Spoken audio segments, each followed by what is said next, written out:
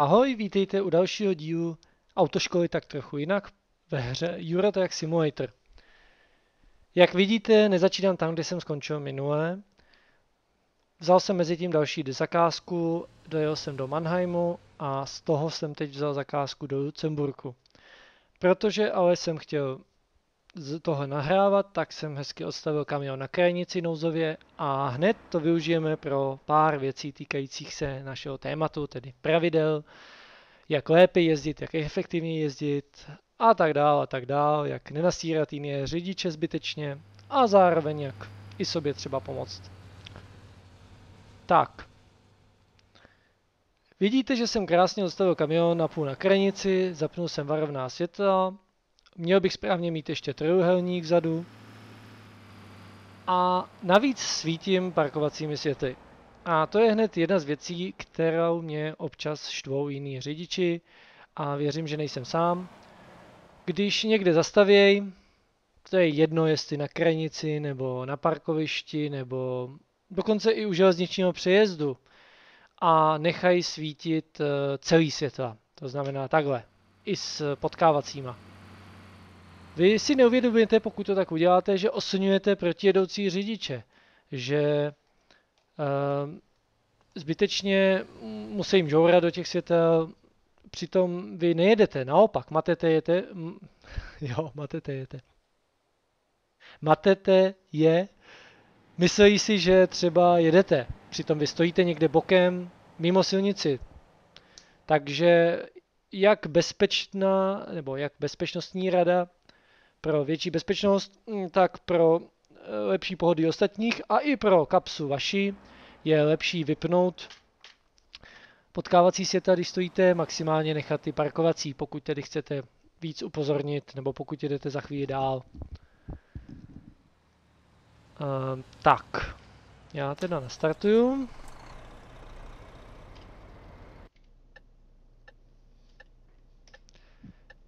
Takže, Tady vidíte, že jdeme do Lucemburku, vezu nějaké stěnové panely. Mimo obrazovku jsem navíc eh, vylepšil motor, takže bych měl mít trošku větší tah a i takhle těžší náklad by mi neměl tolik zpomalovat jízdu.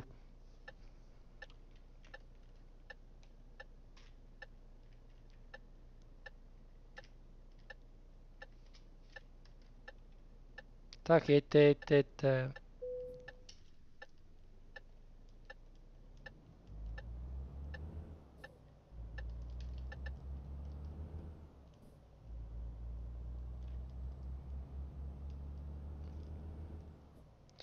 Takže neoceňovat. Ještě bych se vrátil k tomu železničnímu přejezdu. Tam je to zvlášť významný, protože často ten přejezd je zvýšený. Takže když stojí první auto za závorama, tak vás může v protisměru krásně oceňovat, protože čím vejš do světla, tím je to horší. To je i důvod, proč je dobrý nemít zbytečně zvednutý světla, pokud nevezete opravdu těžký náklad vzadu případně si to nechat i seřídit. Ostatně to poznáte, pokud na vás bude blikat někdo z protijedoucích vozidel. Mimochodem, oslňovat nesmíte nejen protijedoucí řidiče, je to i v zákoně, ale ani třeba uh, řidiče vlaku, který jede někde podél silnice, aby byste ho mohli oslňovat.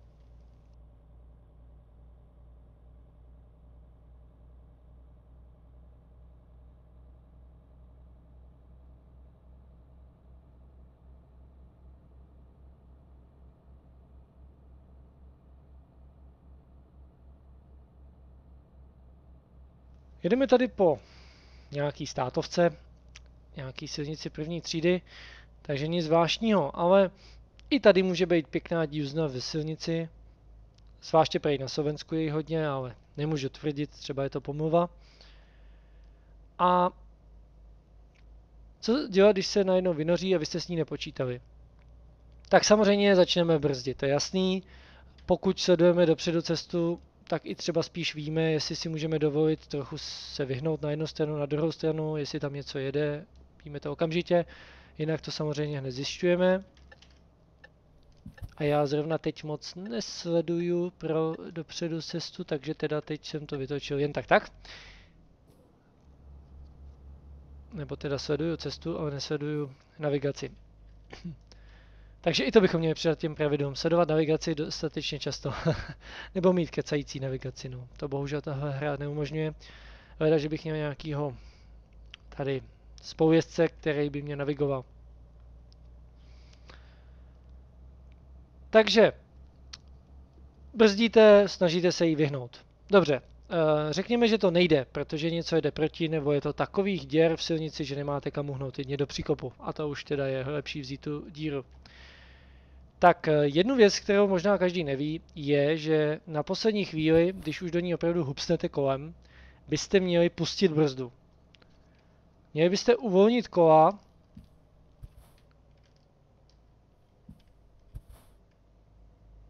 uvolnit kola aby snáze mohla poskočit, aby prostě byla, aby nebyla v pnutí. Při tom brždění jsou vlastně zastavená, nemůžou se točit. Eh, je to mnohem horší, než když se můžou točit. Je to taková dobrá rada, může vám třeba pomoct zachránit vás od návštěvy eh, seřízení geometrie.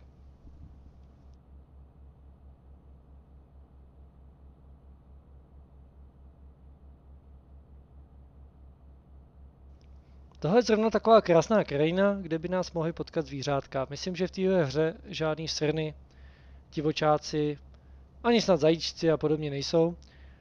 Ale mějte to na paměti, když někde jedete a nedivte se, když tam pak někdo jede méně než 90, když je to krásný remízek nebo pole, kde není vůbec vidět. Tady je vidět krásně, je to nízký pole. Tady bych docela zvěř viděl a zajíc ten už mi nejde napáchá takovou škodu. Ale je spoustu tras, kde pojedete lesem. S namátkou v České republice mě napadne samozřejmě západní Čechy, Savkovský les a podobně, to je chráněná krajina oblast, tam je lesů, Šumava, nebo třeba i z velkých silnic, konkrétně u Bělé pod Bezdězem, mezi Bělou pod Bezdězem a Doxama. Tam jedete krásně lesem, Eh, mám zkušenost, že jsme tam potkali divočáky a jen tak, tak mezi nimi už prokličkovali. Hmm, pěkná scenérie. Jde tam dokonce vlak nahoře, jestli se si všimli.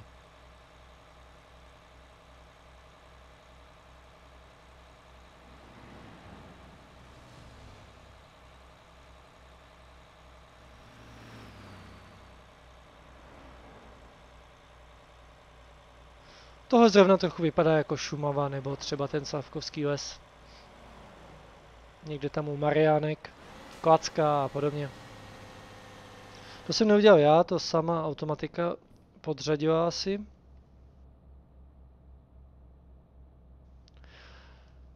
Taky jsem mimo uh, kameru vypnul aut- omezovač rychlosti. Přece jenom, když už tedy nemám žádný těžký náklad, tak jet ani ne 90, to už mi přišlo moc zdlouhavý.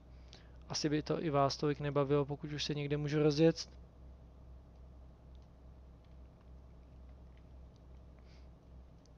No. Mít osobách, tak by se tu krásně předjíždělo. Ale to bych vás naváděl k pěkně špatným věcem. Teda tím osobákem ani ne. Mít rychlost správnou.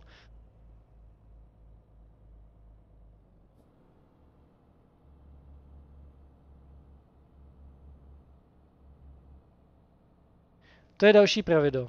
Pokud potřebujete předjíždět, tak uh, dobrým zvykem nebo dobrou zkušeností je rozjet se co nejvíc za tím autem, který budete předjíždět. Musíte totiž nabrat co největší rychlost, co největší rozdíl rychlosti dřív, než ho začnete předjíždět. Teda samozřejmě, pokud to není přehledný úsek, kde vidíte, že se v pohodě rozjedete, pak to nemusíte řešit. A, ah, jsme ve Francii.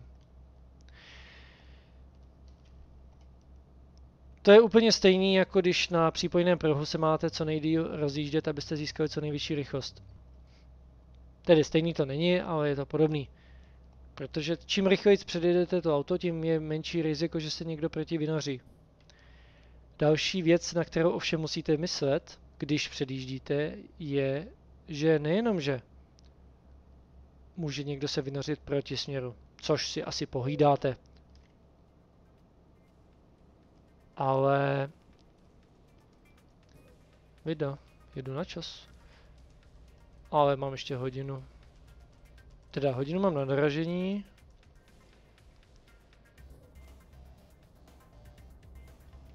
Aha, já to mám jen tak tak.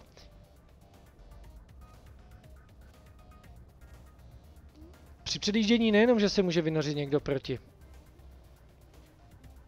A mít to moment. Oh, nice. Tak to se docela povedlo. Nevím, proč mi to nebrzdilo, jestli jsem jel tak rychle. Takže to je zase k tomu telefonování za jízdy. Nesoustředím se na cestu. Předpokládám, že tohle asi rozjet nepůjde. Takže musím zavolat asistenční službu, to bude drahý.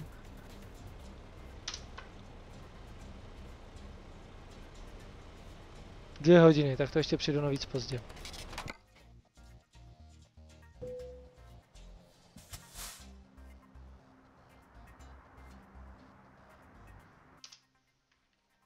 Tak, musím si opravit auto. A, ku podivu. Škoda je minimální. Horší to měl asi ten přede mnou, který se smetl.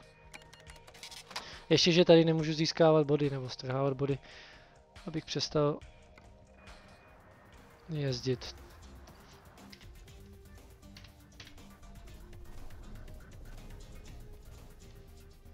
Tak, rychle, rychle.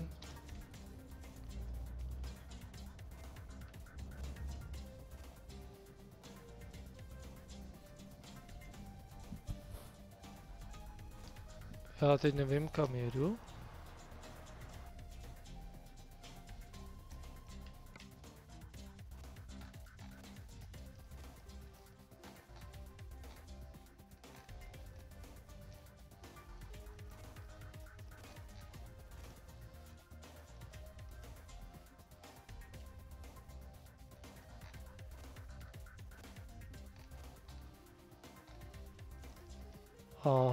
To mám ještě kousek tady.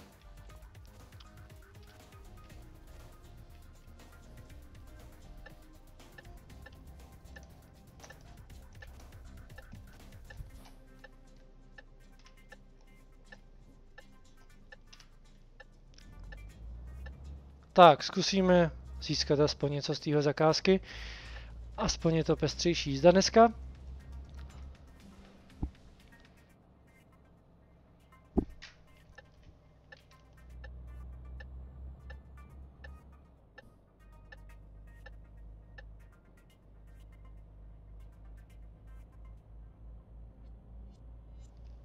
Tak, o čem jsem tam mluvil, když jsem naboural?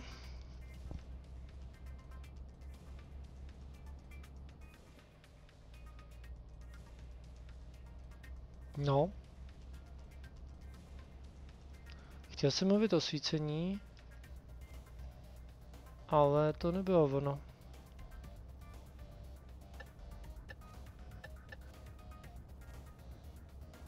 Asi o předblíždění, jasně. Takže když předjíždíte, takže může se vynořit někdo proti vám, jasný. Ale nesmíte zapomínat na to, že se tam může vynořit taky někdo třeba z vedlejší odbočky, z výjezdu z garáže, z parkoviště, ze zahrady, z cesty, prostě z místa mimo silnici. On nemá přednost. Vy máte přednost. On je mimo silnici nebo je na vedlejší, pokud to není pokud by náhodou to byla křižovatka. Což je taky možný, může tam být křižovatka, může tam být vedlejší odbočka. Jenže on si to třeba nemusí uvědomit. Často jsem viděl podobné situace, že takhle někdo vybafnu z vedlejší cesty a nedal by přednost tomu, kdo jede v protisměru, protože předjíždí. Jde o to, že takový lidi si vůbec neuvědomí, že vlastně musí dát přednost. Že tam někdo může hlavně jet. Oni, si dá, oni se dívají na tu stranu doleva třeba, mluvíme vlastně o tom, že zleva někdo bude přijíždět, oni se dívají na tu stranu, odkud může někdo přijet normálně, to znamená pro ně taky zleva, pro nás proti směru. ale nepodívají se doprava, jestli náhodou tam někdo nepředjíždí. Takže to je taky dobrá rada pro vás. Dávejte na to bacha, když budete výjíždět někde. Takže i tohle musíte hlídat, když předjíždíte, abyste přece jenom věděli, kam aspoň nouzově to strhnout. Jasně, není velká pravděpodobnost, že se to stane. Kdybyste jezdili všude úplně jenom na jistotu, tak moc nikam nedojedete. Ale musíte trochu přemýšlet, co udělat, když se něco stane. Abyste co nejvíc zbenčili škodu. Nebo aby byla škoda, ale byla co nejmenší újma na zdraví. Vás nebo někoho dalšího. Protože to je to nejhorší, že někomu ublížíte, nebo někoho zabijete, nebo sebe zmrzačíte. To je horší než z rozfákaný auto na cucky, nebo zničená, já nevím, trafika. No, tak v trafice by asi někdo byl, takže to by taky byl špatný, ale tak třeba telefonní budka.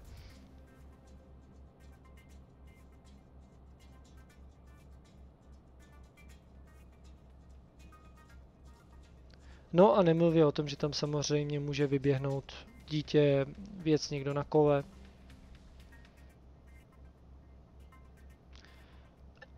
Ještě jednu věc bych zdůraznil. Tak dělej! No, výborně. Tak to teda bylo pěkný. Zase jsem si zastavil velkou citlivost brždění, teda malou. A ten fialový prostě najednou tam nechtěl předjet, já nevím proč. Já jsem ho krásně pouštěl, čekal jsem, že projede a pak se tam zařadím. To se teda v praxi asi moc nestává. Myslím si, že hra vyhodnotila, že dávám blinker a i když nemám přednost, tak mi to dalo přednost. Ach jo, to bude drahá cesta. To asi vydělám stejně, kolik prodělám.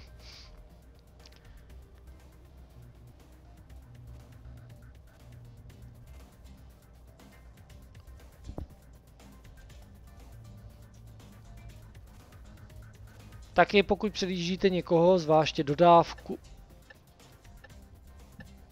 nebo kamion, něco, přes co je hůř vidět, tak si dejte bacha, jestli tam třeba nemá cyklistu, nebo chodce, nebo něco, co můžete předvídat, co bude muset oběct. Pak by mohl se najednou vybočit na vás.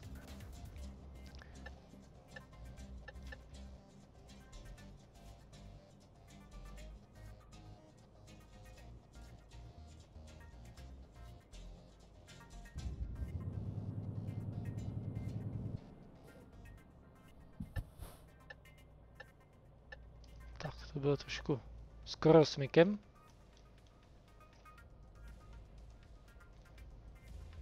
Teda dneska mi to trochu laguje, ale myslím, že je to spojený hlavně s tím, že jedu do města, kde jsem ještě nebyl.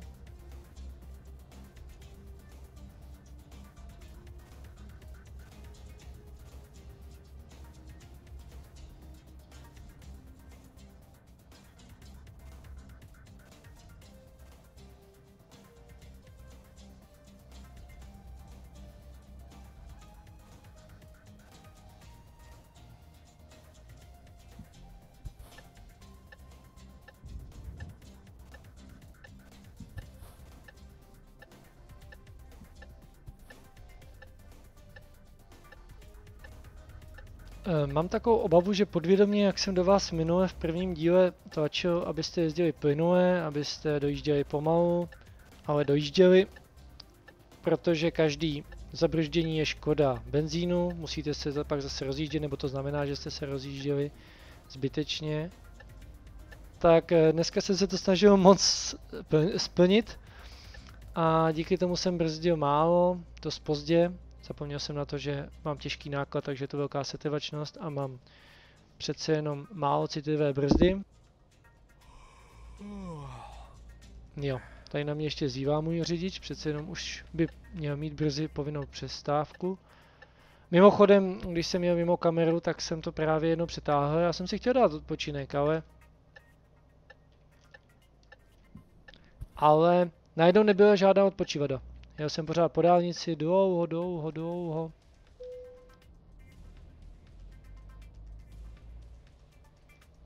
A tak se stalo, že jsem dokonce dostal pokutu.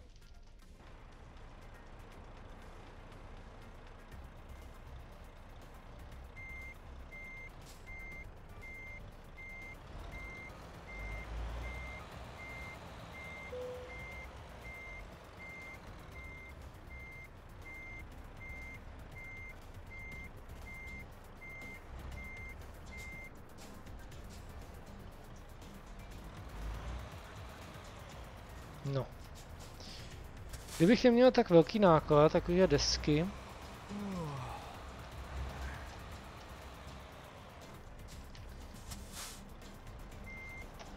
tak bych vám předvedl, že se přece jenom i v této hře dá zaparkovat jenom pomocí zrcátek z kabiny. Může to být docela oprus. A přece jenom mi tu chybí klasický otočení, ohlídnutí se, jako může udělat řidič v kabině skutečného tyráku. Ale dá se to. Vzhledem tomu, že hra nevyžaduje přesnost úplnou. Jako třeba teď vidíte, že nestojím úplně přesně. To by bylo k jedné kratší epizodě, moc jsme toho z těch pravidel nestihli, v podstatě jenom svícení a předjíždění, ale aspoň nějaká rada a aspoň jste mě viděli bourat. Určitě se takových situací stane mnohem víc. Tahle teda nevím, jestli by se obešla bez zranění, tady hra nebyla moc realistická. Nicméně, to vypadá, že jsem opravdu skoro nic nevěděl, protože jsem získal 4,5 tisíce, tuším, že jsem přišel o oprava, no, no nějakou tisícovku jsem viděl. Tak jo, budu se těšit na vás někdy příště u dalšího dílu. A mimochodem, můžete psát třeba do komentářů jako takovou malou soutěž, kolik jsem udělal přestupků. Budeme se o tom asi hádat v některých případech, ale hmm, určitě jsem přehlídl některé věci a pominuji to, že jsem někdy třeba trošku přes čáru, to bych neřešil. Tak eh, kdo ví, co jsem udělal dalšího. Překročil jsem někde rychlost o víc jak třeba kilometr, to bych tak toleroval, kilometr dva, to bych neřešil, ale o víc. Nedal jsem pozor na stopce. Čeho si všimnete, pište to do komentářů. A já se k tomu případně i vrátím, pokud to bude stát za komentář. Tak jo, mějte se, čau.